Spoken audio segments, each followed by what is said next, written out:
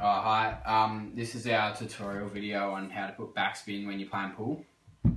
Yeah, so um, some of the errors people make when they go to put um, backspin is they, they jab at it too much like that. You want to have a nice fluent flow when you play the shot. Okay, so um, this is just a quick demonstration.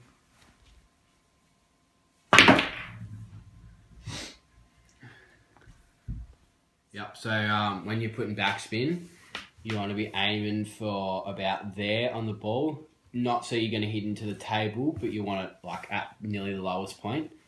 Just a nice